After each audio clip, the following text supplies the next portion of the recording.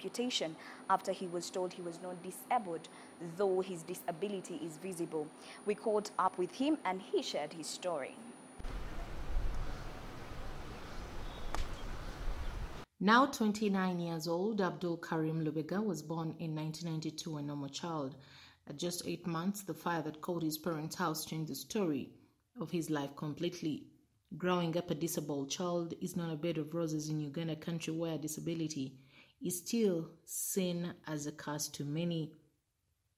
Lubega grew up with his paternal grandfather, who paid his school fees up to senior three. When money was no more, he joined a tertiary institution to do carpentry. bangi ku kyalo kyaffe semuto bandabako era banneebuuza nti ng'okoze emirimu mingi nali mbaddeko omubazi naye ng'oli takikkiriza nti mu kubeera omubazi nafuna osoomoozebwa nti nakola waliwo ekiseera we nabeerera ng'amaanyi ngawulira sirina nnyo wakola ki wannuma n'ensindika landa eyo naye bwe ŋŋenda nkula omukono gundaga nti omulimu bwe guti togusobola. Nange nenzikiriza nti sikola ki? Omulimu sikyagusobola ekyo nenkiwummuza ate nenkwata ku kirala mu mbeera bwe ntyo nange nembeerawo ng'omuvubuka omulala In 2017, he developed more love for athletics after taking part in Mubende Church Marathon, which was organized to solicit money for church construction. The event was graced by former world champion in 3,000 meters steeplechase Dorcas Inzikuru, who inspired Lubega more. esse muto nkomewo mu kibuga olwo gwali gwakubiri ogwasooka nali ntunda ngoye kati ogwokubiri mu kumala okwekkiririzaamu eŋŋendo ezo zonna zenze nziruka nga neetaagako kye bayita tiimuwaaka n'okugaa nti okuweebwa amagezi nti omuddusi abeera bw'ati ne bw'ati kwe kulaba omulenzi gwe bayita sebuuma gonzaga sebuuma gonzaga mu kumulaba tewaaliwo training wabula yaŋŋamba tulina competition. Waliwo kye bayita mubende catholic run tugenda kudduka era tusisinkane ebusega omanyi emmotoka ezigenda emubende nti ye nti bw'oba jangu awo Throughout his life, Lubega's dream was to be at the Olympics one day.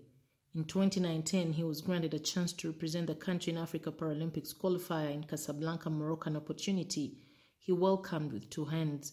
However, his dream came to one end when he was denied a chance to compete at the Games after being told that he had no classification, meaning he was considered non disabled, though his disability is visible. that we can either uh, ask him to go and cut off this side of the, of the hand and then he qualify under T46.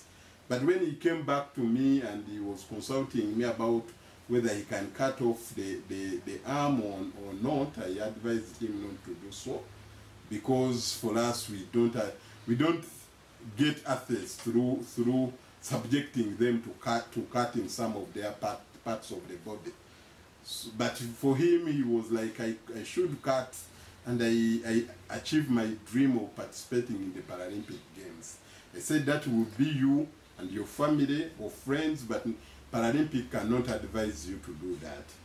So that is how we advised him, and uh, as far as we are concerned, he cannot he cannot participate in the Paralympic Games as of now.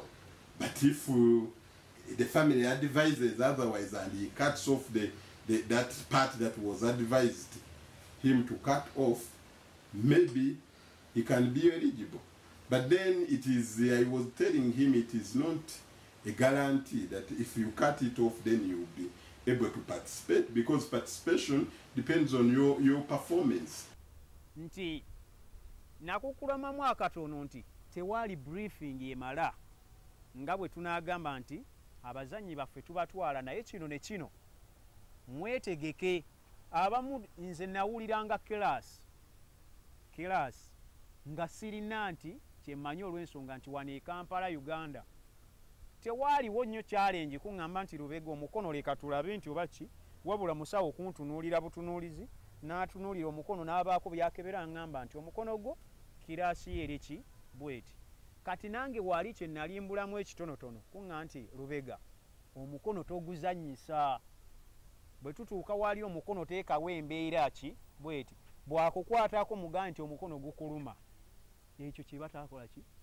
Kyebataŋŋamba If he's to take part in athletics again, he has to undergo surgery, which will see part of his deformed hand amputated. The para athlete is now looking for 8 million to undergo surgery so that he achieves his dream. He still has hope that he will be able to represent the country at international events.